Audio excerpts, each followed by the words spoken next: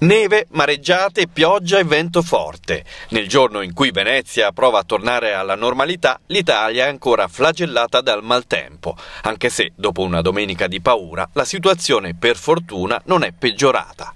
A Venezia, dove l'acqua alta ha toccato i 155 cm, oggi sono riaperte le scuole. Scuole chiuse invece a Pisa, Caserta e Bolzano. A Modena in 10.000 sono senza luce e gas. Allarme anche in Campania.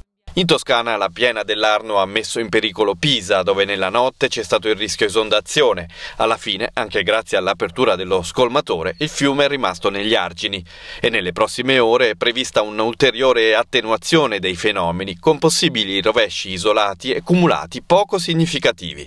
Le criticità più importanti sulla viabilità statale, regionale e provinciale sono state risolte e non ci sono strade chiuse al traffico. In Veneto, dopo le ultime precipitazioni di domenica, è prevista una pausa senza piogge fino a questa sera. Successivamente è atteso un nuovo peggioramento che si protrarrà anche domani.